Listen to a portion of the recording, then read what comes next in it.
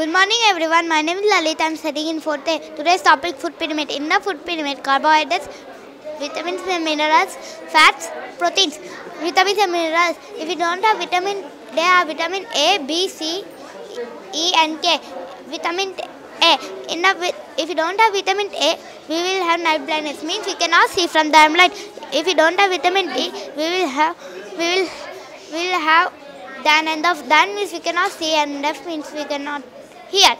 If we don't have vitamin C, our salivary will come out. If we don't have vitamin D, we will have rickets. Means we cannot means means our, our bones will twist and break.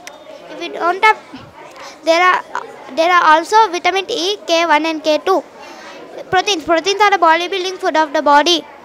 Body. Fats. Fats. Fats. Fats are how stored in food. If, but too much fat makes our body into injuries. Carbohydrates. Carbohydrates are rich in energy. Thank you.